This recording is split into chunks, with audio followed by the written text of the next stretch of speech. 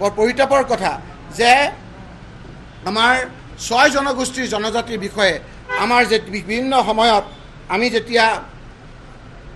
চৰকাৰক কৈ আছিলোঁ চৰকাৰে হোৱাকা পিছলা কৰি আছিলে এতিয়া আকৌ আহিছে যে twelve Arunachal Pradesh tribes included in S T list with separate identity এইটো যোৱাকালি লোকসভাত পাছ হৈছে। Six Assam communities betrayed again আকৌ আমাৰ ছয় জনগোষ্ঠীক বিট্ৰে কৰা বুলি ইয়াত আহিছে। তাত লিখিছে যে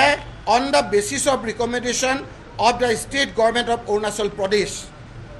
twelve Arunachal Pradesh tribes included in S T list with separate identity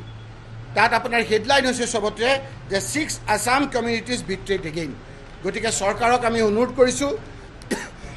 যিহেতু কেন্দ্ৰীয় চৰকাৰো আমাৰ বিজেপিৰ আৰু ইয়াতো বিজেপিৰ নেতৃত্বাধীন চৰকাৰ আপোনালোকৰ ইলেকশ্যন কমিটমেণ্ট ছয় জনগোষ্ঠীৰ কমিটমেণ্ট দিছিলে আপোনালোকে লোকসভাত। এইবাৰ যাতে